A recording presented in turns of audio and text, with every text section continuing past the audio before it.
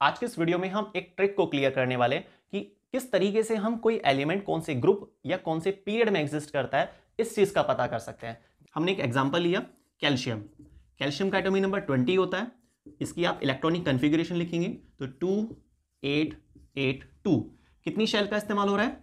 चार। इसका मतलब ये जो एलिमेंट है ना, ये फोर्थ पीरियड में एग्जिस्ट करेगा। जितनी शेल उतने पीरियड में एग्जिस्ट करता है। अगर बाई चांस तीन शेल होती तो थर्ड पीरियड में एग्जिस्ट करता।